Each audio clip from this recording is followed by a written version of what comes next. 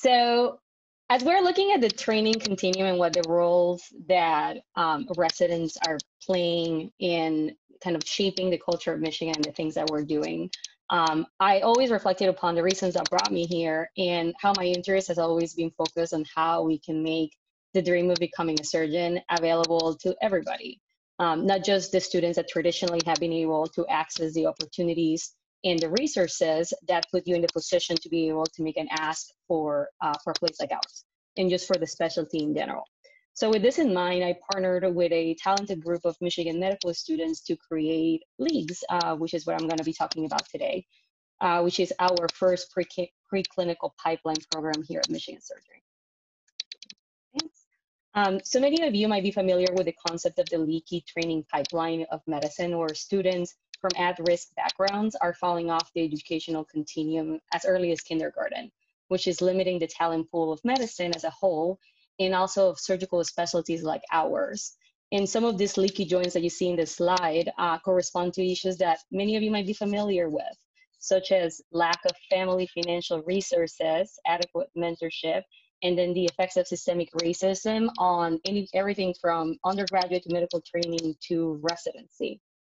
And so with this in mind, we developed the LEAGUES Fellowship as a novel surgical pipeline program. I was inspired by being uh, the beneficiary of a lot of pipeline programs that have brought me here um, to Michigan Surgery. And this program aims to develop future surgeon leaders who are invested in diversity, equity, and inclusion for patients and students, and also the rest of professionals that work with us in academic surgery. Um, our program aimed to accomplish this through like a three-angled approach, mentorship, uh, academic support and research opportunities, and clinical experience. And so we created this four week uh, fellowship program uh, that included six core components that you can see in the slide here from recruitment to interviewing, uh, participating, our participating fellows, um, seminars and workshops, research, and then surgical skills and community building. And as you're hearing all of this kind of elements, it's like, oh, these are all the ingredients of the soup. And let me tell you, some people don't have some of this, even after they have made it to medical school even after you're at the point in which like everybody should be in a level playing field, the field is never leveled. Um, we advertise for this program over social media. Um, we use our contacts with national underrepresented in medicine student groups and recruited rising second year medical students to participate over the summer between their M1 and M2 years. Um, everybody has a different curriculum now, but in a traditional curriculum, that's like your last summer of medical school. Some of you might have one. I had one. Um, and I didn't have money to pay for rent that summer, so it's really hard to engage in research when you're also trying to to pay the bills. Um, so our application collected some basic demographic information, and it consisted of uh, the three short response questions aimed at trying to assess the students' interest in surgery, whether they were interested in research, research was not required, um, and whether or not they had a commitment, a demonstrated commitment to diversity um, on provider teams and equitable healthcare. We received many applications. Uh, and it was a joy to read them. They came from all over the US and Puerto Rico, and three applicants from an outstanding pool were selected to participate uh, on our pilot program, which just happened um, this summer. And we had originally intended for this to be like when I came to research, so I'm in my first year of research, and I was gonna come out and we are gonna implement this program, and I was gonna, I was gonna be able to take the students to the operating room, and then COVID happened. And so what we had originally intended to be an in-person uh, research fellowship, um, and we laid all the foundation for this, ended up becoming a virtual opportunity. Um, and there was a point in which we needed to decide whether or not um, the program was going to be worth it, but we felt that with the COVID pandemic, leagues was even like needed even more because so many students had been impacted uh, with canceled in-person opportunities. Um, and so we moved right along. Um, and this took a lot of work, um, and I did not do this alone. So we move forward with converting the entire program to virtual. Uh, this is a screenshot of my elaborate Google Calendar uh, for one of our fellows. And in many ways, the, the virtual uh, format made it simpler to schedule some of the, uh, like the mentorship components, the Zoom meetings. Uh, you're seeing the snapshot here, and there is uh, there are things that were happening every single day. And we found it very important to provide, um, uh, to figure out a way to provide a stipend for our fellows, even though with COVID-19, the fund situation changed.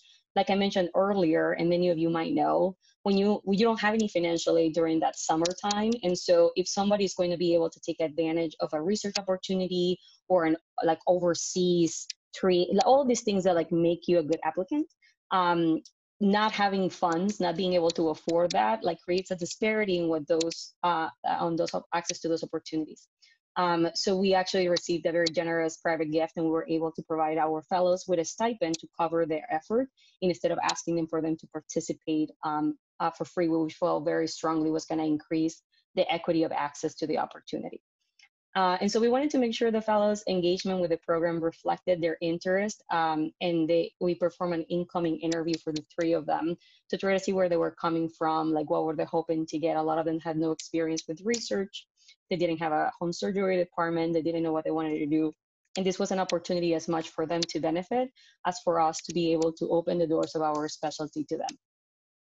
We found that fellows unanimously had a strong interest in the surgical specialty and surgery as a specialty and a desire to have a career working with minority patients and improving representation in academic medicine. Um, this was a large motivation for them to actually participate in leagues. And our fellows also came in, as I said, with very little, little research experience or surgical mentorship, and they were worried about pursuing a surgical career giving both how competitive it is and also the stereotype of a hostile surgical culture with high rates of burnout across the country. Um, they also had a perception that success in surgery was dependent on networking and being well connected. And so if you happen to be, maybe you get into medical school, but maybe you don't have a surgery department, or maybe people at your surgery department don't do research. And so it can be very challenging for students to kind of network their way in. Um, so what did we do during this month? Uh, the program ran this past July. So I finished, I did my last emergency case on June 29, and then on July 1st, we had our first session for LEAGUES. Um, the program um, ran with, we couldn't have run without the support of, of our Michigan family. So there were over 30 Michigan faculty and residents uh, that participated uh, in the program. Each week, the fellows attended lectures, workshops uh, that were conducted by our faculty and residents, and also our senior medical students, as this program was completely run by, by our senior medical students who may be applying with you guys this season.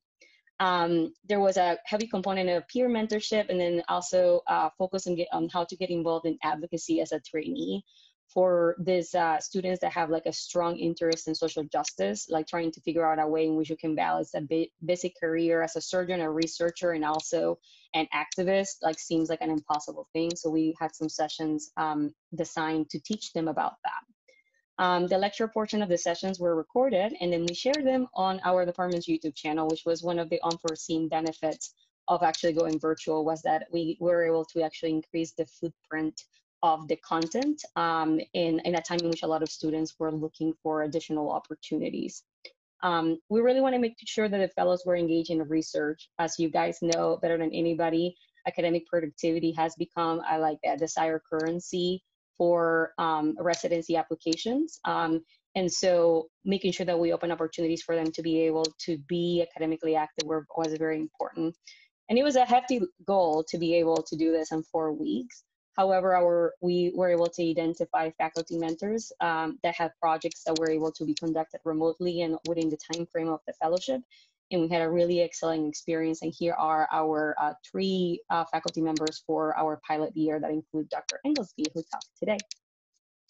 Uh, one of the components that had the biggest twist was that we were hoping to actually introduce you to surgery, which you know, taking care of patients in the uh, outside of the operating room is half of what I, of what we do, and then but the OR uh, is a big part of our lives. And learning about like learning how to suture and, and having an introduction to the procedural aspect of surgery was important. Um, but our uh, two of our uh, medical student leaders, uh, Jessica and Kelly Sanchez Parker, actually figure out a way of teaching our students how to suture over Zoom.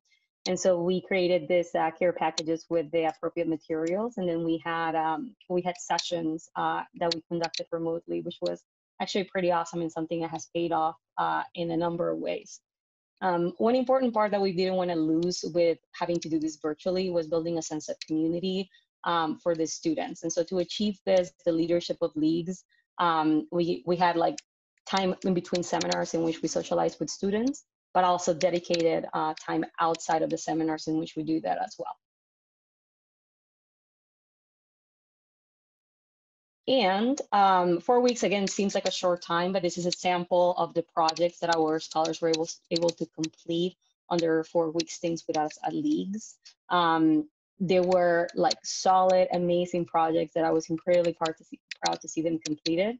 And in terms of deliverables, all of them submitted abstracts uh, for one of our larger surgical conferences, and two of them are currently working on manuscripts. I actually just finished reviewing one of them, um, and it's getting very close. And this is for a student that had no previous experience doing the research.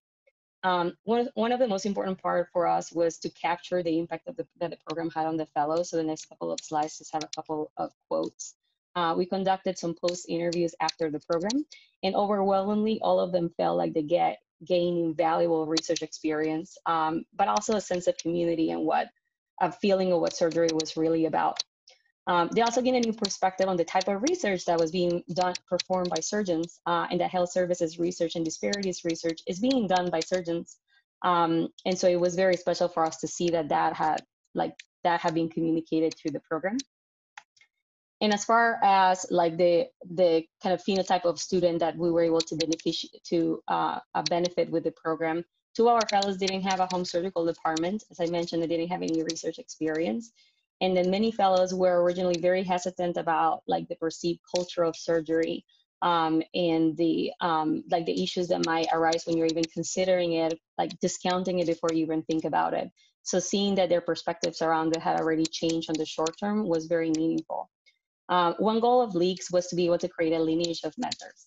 So we had um, we are going to be having our second um, our second installment of Leagues next year, and uh, the students like demonstrated a lot of interest and actually participated in taking back what they had learned to their institution. And all of this sounds awesome but none of this was easy. And uh, it was actually incredibly challenging and we had to troubleshoot a lot and in some ways we're like oh we did this we did this and these are what, what the students got. But like our institution and like the faculty and the residents uh, gained a lot and i gained a lot of experience both putting a program like this together and then the residents and faculty and the students because we had a lot of students involved mentoring across geographical barriers and then seeing what it actually takes to do like this type of diversity work. And so as we're looking into the future uh, we're get ready getting ready for 2021 uh, and things are going to be hard we don't know if we're going to be in person we're working on long-term on long-term funding and then uh, making sure that we don't overutilize like the key resource of this program, which is the time and energy of our faculty and residents. Um, but we're excited for it, and this is a great opportunity. I'm hoping that it becomes an opportunity in which residents and students here at Michigan Surgery are able to participate in really meaningful uh, diversity pipeline work.